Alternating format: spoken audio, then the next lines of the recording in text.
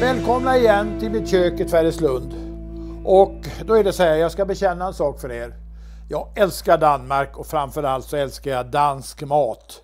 Och eh, när man åker till Köpenhamn så måste man ju gå och käka ett smörrebröd. Olika sorter. Jag menar, tänk, tänk att få en sån här fläskstek med, knapers, med knaperstekt svål. Vi kan få en härlig rostbiff med remouladsås. Remouladsås ska jag förresten göra idag. Men idag så ska jag göra någonting som jag tycker är bland det bästa man kan få på en dansk smörrebröd. En friterad fisk med remouladsås. Riktigt nyfriterad, frasig. Vanligtvis så får man ju ofta rödspätta, filé och jag har idag fått tag på rödtungsfilé som jag tycker är kanske lite vassare än rödspättan. Och eh, den ska jag nu panera och visa hur det går till. Tyvärr så har jag faktiskt upptäckt på vissa smörrebrödrestauranger att man använder färdigpanerad spätta som man köper djupfryst då som tinar upp och friterar. Men det blir inte alls samma sak. Det var lite bättre förr där på de flesta restauranger faktiskt. Men eh, de får chansen att bättra sig. Jag ska i alla fall göra så här att jag har mjöl, ägg och rivebröd där. I det här fallet lite blandat pankobröd och vanlig rivebröd. Då får jag den där frasiga fina. Färdigköpta rödspelare, färdigfilerade eh, rödtungsfiléer. Och det sitter den där lilla fenan kvar här också. Den är jättegod så den får sitta kvar. Så har jag tagit och blandat lite, lite salt i mjölet. Så jag använder sån här pincett så slipper man bli så där otroligt kladdig på fingrarna. Det, det, behöver man inte göra om man inte vill. Man kan absolut använda händerna till det här, absolut. Men eh, tycker det är ganska fiffigt det här. Att köra med en sån här. Så, så. Då lägger vi där. Så tar vi nästa. Detta är det som kallas på restaurangspråk för dubbelpanering. Alltså mjöl och ägg, vispat ägg. I det här fallet två ägg tog jag. Och så, och så fint rivebröd. Inte med massa klumpar utan riktigt så här. Sen när man panerar så här som jag gör nu så ska man inte knacka in för mycket bröd på fisken för då blir det liksom mera bröd, kanske till och med en fisk. Så att det, det är onödigt. Lagom så här. Lägger vi den på en sån annat bläck och så fortsätter vi så här. Det kunde jag gjort som sagt bara med fingrarna, hade gått det kanske lite fortare men eftersom jag ska göra såsen här om en liten stund så tycker jag det är ganska skönt att slippa kladda ner mig för mycket för det fastnar ju på fingrarna. Jag kan också använda gummihandskar om jag vill va? men nu kör vi så här så får vi se. Så. Och så så där. Ibland när jag gör det här, jag vet ju ganska mycket fisk här ute, då brukar jag lägga en tidning på, bo, på bordet och så tar jag, häller jag ena sidan mjölet och andra sidan rivebröd och sen så och så i mitten en skål med, med vispat ägg. Och sen viker jag ihop alltihopa och slänger det i, i min öppna spis. Det blir alldeles utmärkt det med för då blir jag av med alltihopa. Då sparar man ju disk. Så där. Och så tar vi den, den sista. Sån. Hoppsan så. En pincett är ganska bra, höll jag på att säga. Det är ett ganska bra instrument att använda. Det tog mig faktiskt, gammal kock som jag är då, det tog mig faktiskt en tid innan jag lärde mig använda det på, till 100 procent. Men när man har väl lärt sig det så är det fantastiskt bra. Man ska ha rent och snyggt i köket när man är kock, det är viktigt. Så. Så nu har jag förberett lite papper här som jag ska ta och lägga den friterade fisken på sen. Kan jag sätta där. Så, det är det klart. Så, då ska vi ha såsen. Det är säkert någon som reagerar för att det här är absolut ingen dansk remouladsås, men jag bryr mig inte. Här ska ni veta har jag fräs curry. Och eh, bara för att då får jag fram den jättefina smaken på vanlig enkel curry. Här är ingen speciell curry utan det är den curry man köper som vi köper på burk. Så har jag fräst eller lite olivolja. Så där. Sen har jag majonnäs. tar vi här. Så.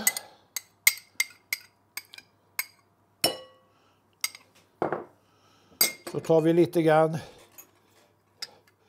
gräddfil. Där pass. Så.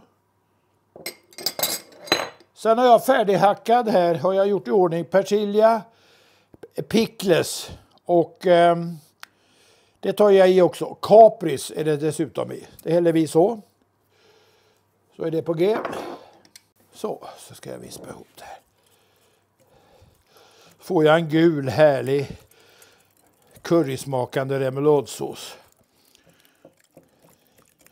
Ska vi smaka på det här får vi känna hur det smakar.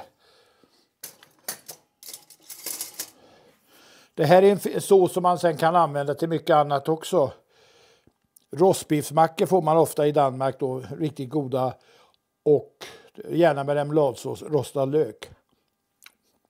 Mm. Det är lite salt.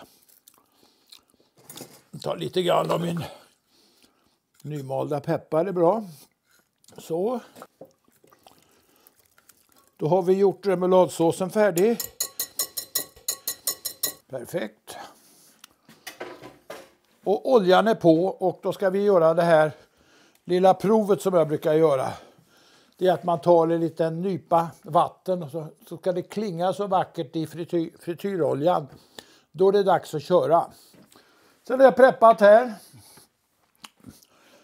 Eftersom det heter smörrebröd så måste man ha en brödskiva i botten. Nu behöver man inte ha det om man inte vill men i det här fallet så tycker jag kanske att man ska ha det i alla fall. Eftersom det heter smörrebröd. Det här har man inte i Danmark väldigt sällan. Man lägger på salladsblad på det här viset. Men nu, nu ska det här vara lite matigt så att vi gör så. Och så ska jag ha citron. Får vi ha till så.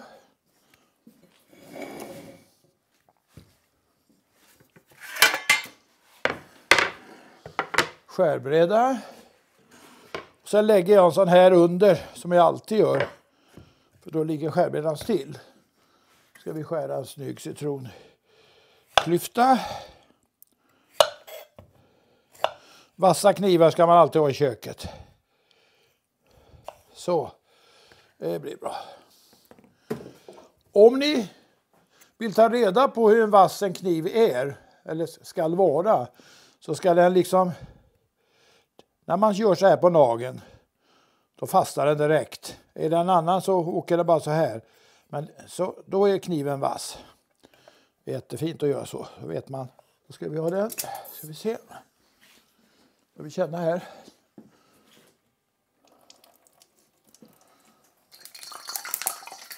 Då ska jag låta. Då vet vi att det är dags att köra. Så kör jag i två stycken i taget här. Så man ska inte lägga för mycket i den här grytan för då, då kan det lätt att det kokar över och det vill man inte göra. Så. Då sköter det sig så fint det här. Skulle man nu vilja göra det här på kyckling så går det lika bra att göra det på kyckling. Det är hur, hur fint som helst. Och sen ska man inte steka det här för länge eller rättare sagt fritera, utan det är färdigt. De är alldeles blanka och fina inuti. Den här fina färgen, så ska det se ut när man friterar. Kör vi en till, eller två till blir det. Och sen så kommer ni ihåg det att inte stå platta och banka för mycket på för att det, då blir det inte bra. Det ska vara så här. Oj, oj, oj, oj, oj. Nu är jag nästan i Danmark kan jag säga. Jag längtar på att få åka dit och gå på en fin smörrebrödrestaurang. och sätta sig ner och hygge sig som de säger i Danmark. Det är, det är fantastiskt. Och få in en sån här härlig pilsner. Tänk att Carlsberg i Danmark smakar bättre. Jag vet inte varför. Fläskesteken smakar också lite bättre i Danmark. Jag vet inte varför. Men det är liksom eh, det, är det där jag vet atmosfären tror jag, språket. Eh, jag vet inte, det är, det är något speciellt med Danmark som gör att jag, att jag trivs där nere. Det är dyrt som fan rent ut sagt på svenska men det kan det vara värt ibland. Om man går på den här riktigt fin.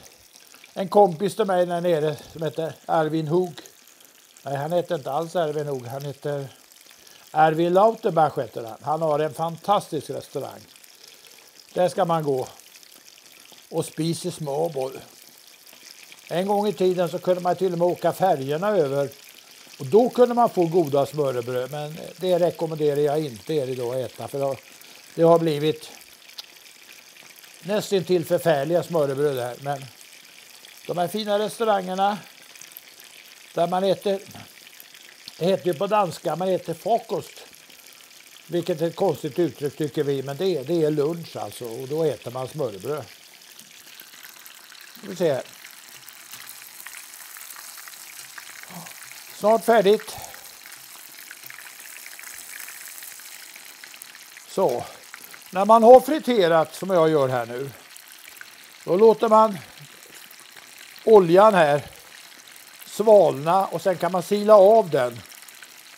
Hälla upp den på ett kärl, sätta in den i kylen så kan man använda den flera gånger.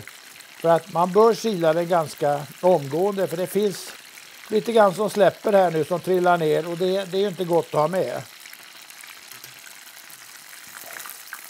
Eller ha kvar rättare sagt. Så.